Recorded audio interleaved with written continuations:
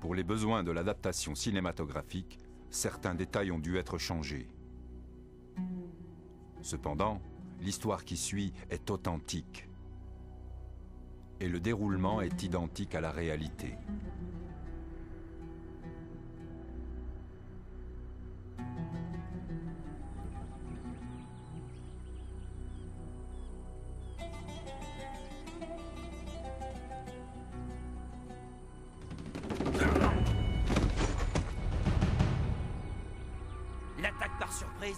Est la clé de la victoire.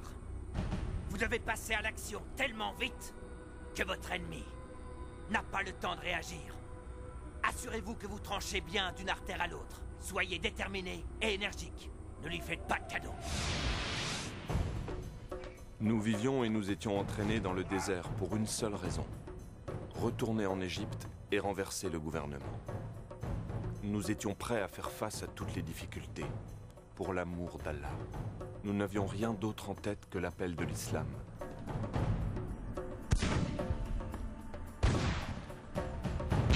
Pour nous, il n'y avait que deux choix. Le premier était de mourir et d'aller au paradis. Le second était de vivre en gagnant la bataille. J'étais un excellent tireur et on m'entraînait pour que je devienne un sniper.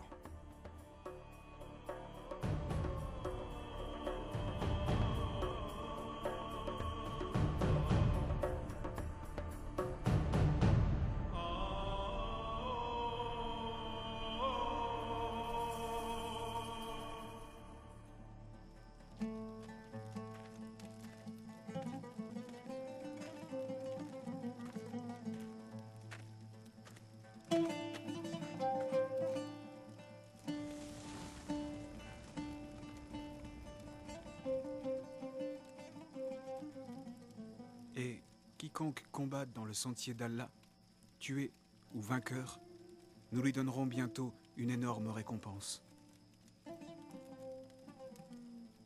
Mustapha, ton frère est au paradis. Cette certitude doit te réconforter, mon frère. Et ne dites pas de ceux qui sont tués dans le sentier d'Allah qu'ils sont morts. Au contraire, ils sont vivants. Mais vous en êtes inconscients. Salam alaikum, Émir. Wa alaykum assalam. Et qu'Allah vous protège. Comment va l'entraînement, mes frères? Tout va bien, Émir. Qu'Allah soit loué. Asseyez-vous.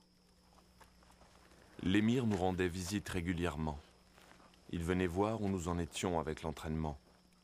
Un soir, il nous fit la lecture d'un article dans un journal du Caire. Il relatait l'arrestation d'un groupe de missionnaires qui étaient accusés d'avoir voulu convertir des musulmans dans un de leurs hôpitaux en leur proposant des relations sexuelles et de l'argent. Des relations impures. À mort les infidèles!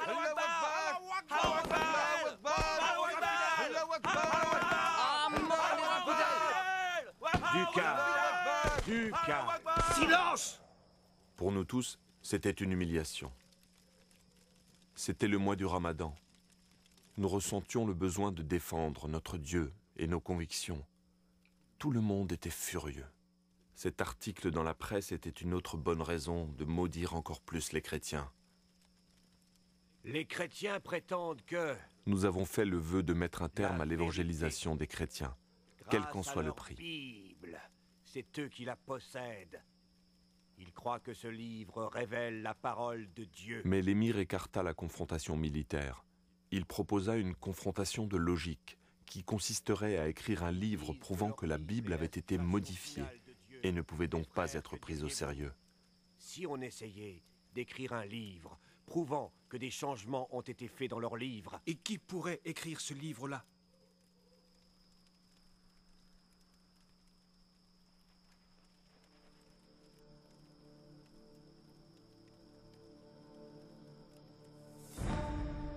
Qu'est-ce qui te prend? C'est un simple livre qui te fait peur Les chrétiens jettent des sorts et font même de la magie avec ce livre. Ma mère en a été témoin. On dit aussi que tous ceux qui lisent ce livre deviennent comme envoûtés. Il est maudit. Je ne peux pas le lire, Émir. Non, non, je ne peux pas le faire. Attention, ceci est ma volonté. Si tu crois en Allah, Et si tu crois au dernier jour, tu dois faire comme je dis, Khalil. Non, Émir. C'est impossible. Non, non Khalil, Non, Émir. Je vous en prie. Trouvez quelqu'un d'autre pour ce travail. c'est une mission très importante. Et avec toi, je sais que ça ira. Tu es le seul capable d'écrire ce livre, j'en suis convaincu. Sans doute. Et, et vous me demandez de les aimer, de penser comme ces infidèles. Je peux pas. Si vous me dites de tuer les chrétiens d'Égypte, je le ferai avec plaisir. Mais lire ce livre maudit est au-dessus de mes forces. Tu es un grand croyant. J'admire ta foi en Allah. Elle est remarquable, c'est vrai. Mais tu fais erreur en te laissant aveugler par ton grand zèle spirituel. Je le vois bien. Tu ne sais plus discerner le bien du mal. Te rends-tu compte? Du très grand honneur que l'accomplissement de ce devoir t'apportera, sans parler du respect de tous tes frères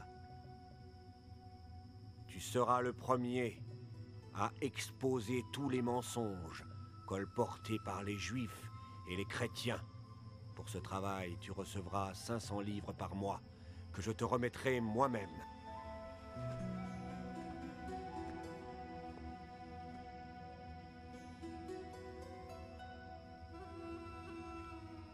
Nous avons abandonné l'entraînement dans le désert et je suis rentré chez moi. Un mois passa, mais je n'arrivais toujours pas à me mettre au travail.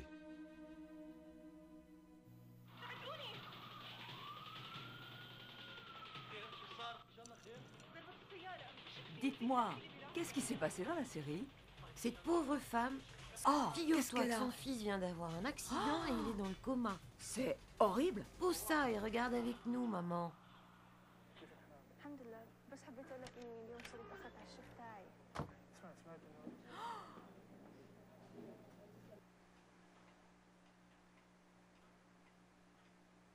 Khalil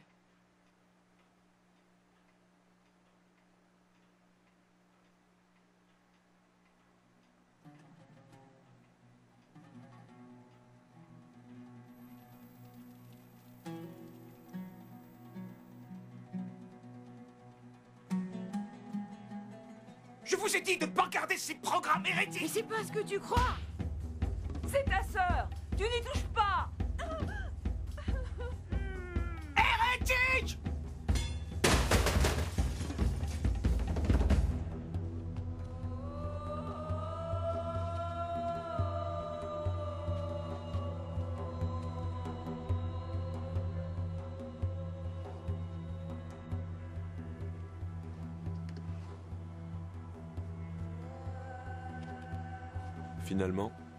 Je pris la décision d'obéir aux ordres de l'émir. Je lui devais obéissance. Alors j'ai commencé à accomplir ma mission. Mais je ne savais vraiment pas par où commencer.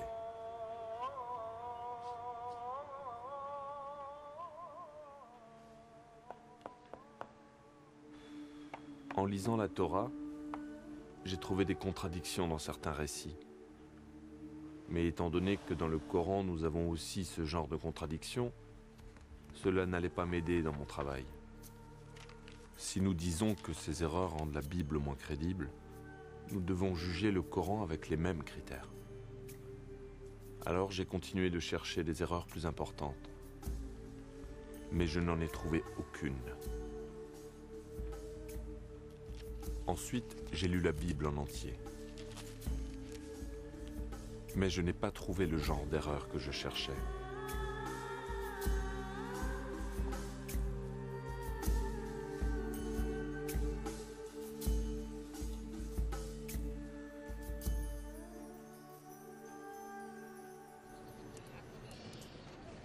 Il n'y a pas un seul verset dans le livre des chrétiens qui mentionne la venue du prophète Mohammed ou Ahmed. Je t'ai apporté quelque chose. Je crois que c'est ce qu'il te faut. Tiens, Démontrer la vérité.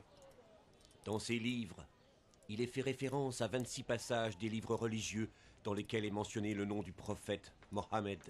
Salut et bénédiction sur lui. Salut et bénédiction sur lui. Ces références apparaissent dans la Torah et les évangiles. Dommage que je les ai pas eus avant. C'était mieux ainsi. Je voulais que tu lises d'abord la Bible en entier. De cette façon, tu la connais et tu peux en discuter. Quand tu publieras tes conclusions, tu seras capable de les expliquer. Khalil, mon fils, ce livre que tu es en train d'écrire n'a rien à voir avec tous les autres livres. On n'a jamais écrit de manière aussi directe sur ce sujet. Si Allah le veut, nous aurons de bons résultats.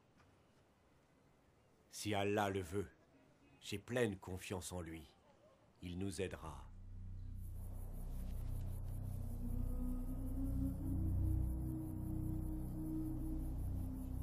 Je me mis au travail avec pour but d'examiner les 26 références inscrites dans les livres que je venais de recevoir.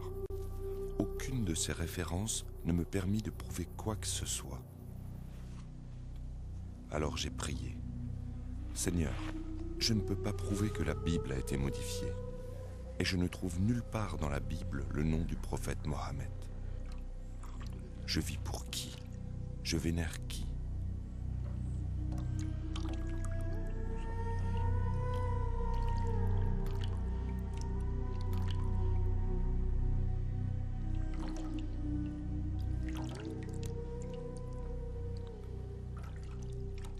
Et j'ai pensé, si la Bible est le vrai livre de Dieu, alors quel est l'avenir du Coran? Ces livres ne peuvent pas dire la vérité tous les deux, puisque leurs enseignements vont dans des directions différentes. J'ai donc commencé à écrire un protocole de recherche que j'ai intitulé Le Coran est-il la parole de Dieu? À la fin, j'avais écrit entre 200 et 300 pages. Un jour, l'émir me fit une visite surprise. Je vous prie d'attendre Khalil ici. Il va être de retour dans un instant. Je vous remercie.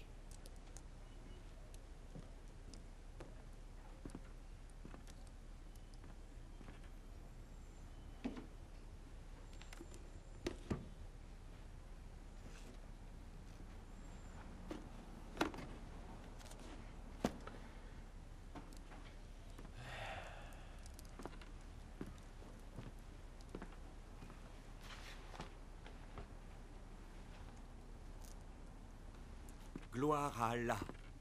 Il a enfin commencé l'écriture du livre.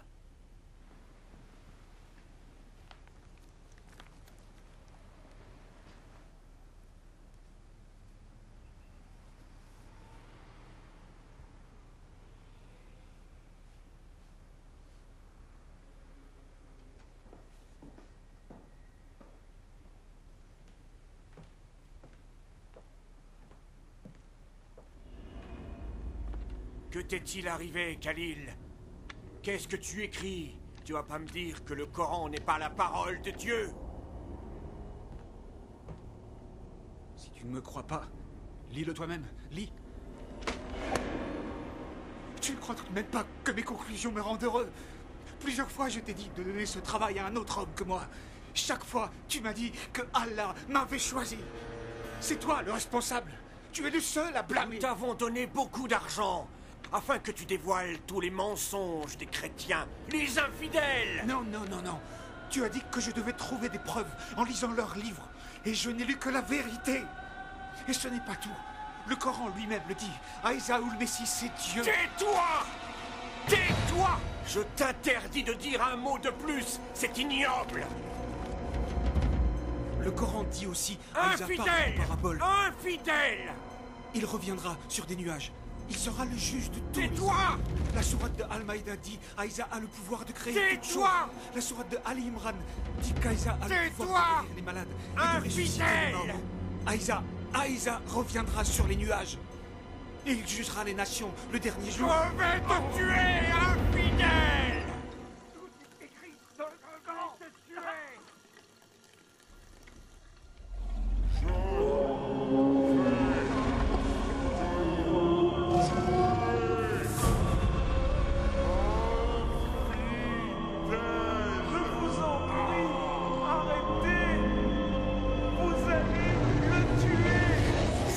tuer Infidèle Je vais te tuer Ah, ah. Écoute-moi. À partir de... d'aujourd'hui, on ne se connaît plus. Je préviendrai le groupe que tu as abandonné notre foi. Et si un jour tu veux montrer ces saletés, je te préviens, je te tuerai de mes propres mains Infidèle Khalil Khalil Mais je vous le dis, aimez vos ennemis, bénissez ceux qui vous ont maudits, faites le bien envers ceux qui vous détestent, et priez pour ceux qui profitent de vous et vous persécutent. Ne résistez pas à une personne méchante, et si elle vous gifle sur la joue droite, tendez-lui aussi la joue gauche.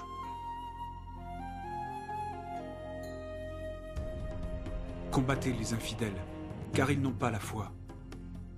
Combattez les polythéistes de la même manière qu'ils vous combattent.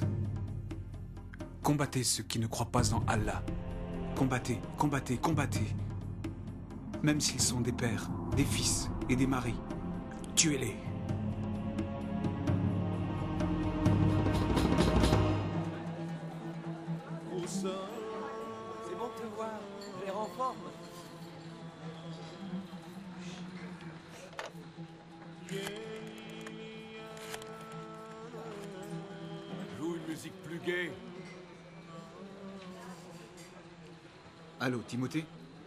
Khalil. Non, ça va. J'avais envie de parler avec toi. Bonjour. Un jour, j'ai téléphoné à un collègue de bureau qui était chrétien. Et Ouais, celui-là ça va toujours. T'as pas envie d'essayer? Si tu veux. J'espérais qu'il pourrait me parler des évangiles, mais il prit Non, peur tu et raccrocha. Je voudrais que tu m'en parles, c'est tout. Puis je découvris avec stupéfaction qu'on m'avait volé ma mallette, qui contenait ma carte d'identité et ma Bible. Vous avez vu ma mallette? Quelqu'un a vu une mallette? Une manette Oui, vous l'avez pas vue Je l'avais posée là. Non, j'ai rien vu. C'était si important. Oui, il y avait ma carte d'identité et, et ma Bible. Eh, revenez Revenez Vous me devez une communication. Faut payer.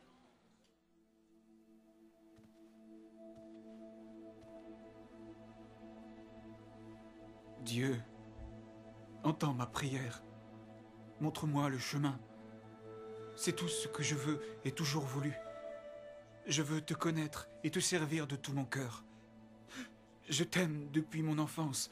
J'ai mis ma vie entre tes mains. Je suis confus. J'ai besoin de toi.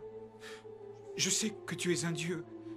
Mais es-tu celui des musulmans ou celui des chrétiens? Si tu es le Dieu des musulmans, fais en sorte que j'oublie mes doutes sur l'islam. Et si tu es le Dieu des chrétiens, fais que dans mon esprit vienne la lumière. Montre-moi la vérité. Je t'en supplie, Dieu.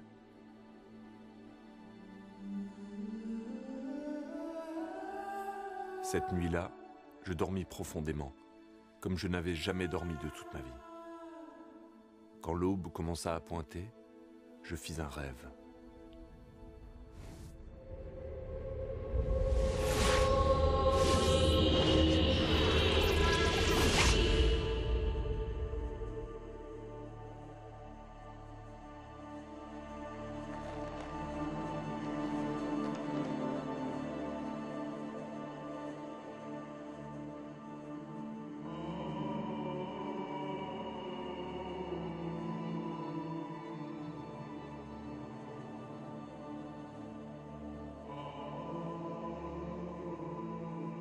Toujours des doutes à mon sujet. Qui es-tu? Je suis celui que tu cherches. Je ne m'en souviens pas. Tu lis le livre. Oui, je l'aime beaucoup. Oui, je le sais. Je ne l'ai plus. On me l'a volé. Le livre ne peut jamais être perdu. Lève-toi et ouvre ton armoire. C'est là qu'il se trouve.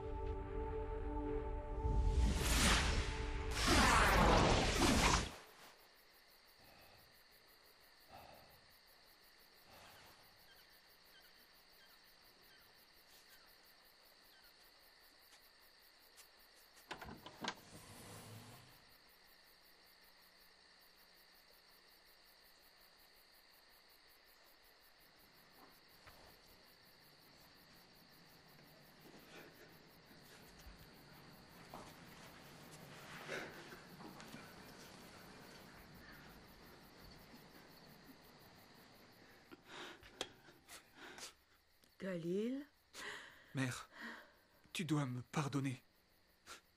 Je croyais suivre les préceptes de la vraie foi. C'est pour ça que je t'ai traité aussi durement. J'étais ignorant. Pardon. Je veux te baiser les pieds. Oh mon Dieu, qu'est-ce que tu as? Qu'est-ce qui t'arrive? Dieu m'a guidé vers la vérité. Maintenant, le Dieu que je connais n'est pas le Dieu qui me guidait avant. Mais enfin, il n'y a qu'un seul Dieu. Oui, mère, et il m'enseigne de t'aimer et de t'obéir. Quel est ce Dieu, Khalil? Il est le vrai Dieu, qui a été révélé en Christ, ou Aïsa, comme on dit dans le Coran. Pas si fort parce qu'ils croiront que t'es devenu cinglé. D'accord, je vais faire comme tu dis. Mais est-ce que tu me crois? Pourquoi je ne te croirais pas? Tu n'as jamais été aussi gentil. Ne t'inquiète pas, mon fils. Dieu n'abandonne jamais ceux qui ont foi en sa bonté. Je t'en prie, dis-moi que tu me pardonnes. Sois en paix. Mon cœur avait changé. Il avait été transformé par l'amour.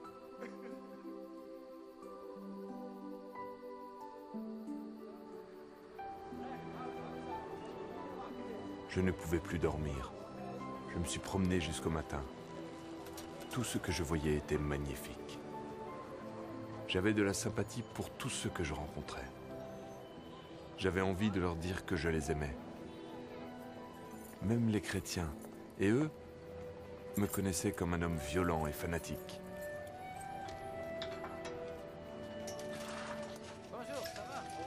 Bonjour, Georges.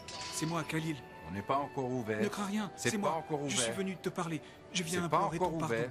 Je t'en supplie. On pourrait pas en parler plus tard? J'ai changé. Je le vois. Je ne suis plus le même. Avant, j'en voulais à tous les chrétiens. Je te demande de me pardonner. Pardonner, car tu as changé. Oui, j'ai changé. Je te demande ton pardon. Je ne le mérite pas, mais je t'en prie, pardonne-moi. J'ai changé. Alléluia. Ça veut dire quoi Tu le sauras. Laisse-moi te regarder. Que t'est-il arrivé J'ai changé, s'il te plaît. Approche. Pardon. Bien oui, je te pardonne. Pardon. Entre. Je te Je remercie. t'accorde mon pardon. À partir de ce jour, j'ai réellement commencé à changer. Ceux qui vivaient dans mon entourage, comme ceux avec qui je travaillais, tous voyaient le changement qui s'était produit en moi. J'avais été un homme odieux, irascible. J'avais mis le feu aux églises et j'avais pillé des boutiques. J'avais commis des actes d'une extrême violence. Mais Christ avait changé ma vie. Quand je me suis mis à agir selon les écritures de la Bible, je suis devenu une personne aimante.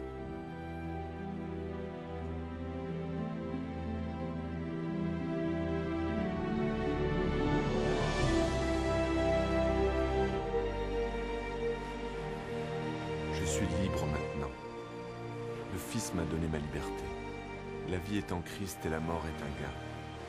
Dans le passé, la mort était un fantôme effrayant et laid. Mais aujourd'hui, la mort ne commande plus. Je suis maintenant en Christ et toute chose est nouvelle.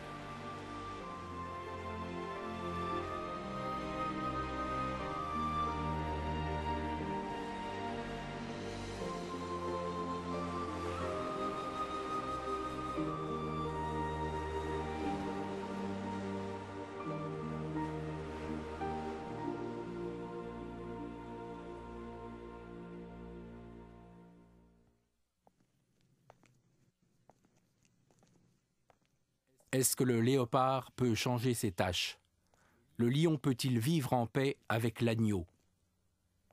Un homme dévoré par la haine et la lutte farouche contre ses ennemis peut-il devenir un homme de paix? Dans le cas de Khalil, toutes ces questions ne lui ont jamais traversé l'esprit. Jusqu'à sa rencontre avec le prince de la paix, le Seigneur Jésus-Christ. C'est impossible d'un point de vue humain? C'est ce que vous vous dites? Oui, mais avec Dieu, toute chose est possible. Cela me rappelle un homme, appelé Saül. Comme Khalil, il était grossier, violent, mais très instruit. Il prit la décision de tuer les chrétiens de sa région. Il participa à l'assassinat de plusieurs d'entre eux jusqu'au moment où il comprit qu'il ne luttait pas contre les hommes, mais contre Dieu. Dieu mit littéralement Saül à genoux. C'est dans cette position, humble et prostrée, que cet homme fier a crié son désespoir. Qui es-tu, Seigneur? Et le Seigneur a répondu, Je suis Jésus. Et quand tu te bats contre mon Église, tu te bats contre moi. De nos jours, On se souvient de cet homme sous le nom de Paul, l'auteur de plus de la moitié du Nouveau Testament dans la Bible. Qu'est-ce qui changea Saül? Qu'est-ce qui changea Khalil? Pour les deux hommes, c'était le même pouvoir, le pouvoir de l'amour. C'est de ce pouvoir que je veux vous parler aujourd'hui, car il n'y en a pas de plus grand. Dieu est amour, c'est ce qu'enseigne la Bible. Dieu est tout-puissant. Il connaît toutes choses et en outre, il est présent partout. Mais en essence, Dieu est amour. Dieu ne veut pas que l'homme périsse, mais au contraire, il veut que tous les hommes se repentent et connaissent la vérité. Ce qu'il veut, c'est que nous vivions avec lui au ciel pour toujours. Tout ce qu'il demande, c'est que nous acceptions Jésus-Christ comme notre Sauveur. Nous voici arrivés au point important. Écoutez avec attention. Khalil a eu l'expérience particulière de voir Jésus dans un rêve. Vous croyez peut-être que vous devez aussi le voir en rêve pour être sauvé? Ce n'est pas le cas. Le salut est un cadeau de Dieu pour tout le monde. La seule demande venant de Dieu est que nous ayons la foi. Même la foi est un cadeau de Dieu. Que pourrions-nous attendre d'autre que de l'amour d'un Dieu d'amour?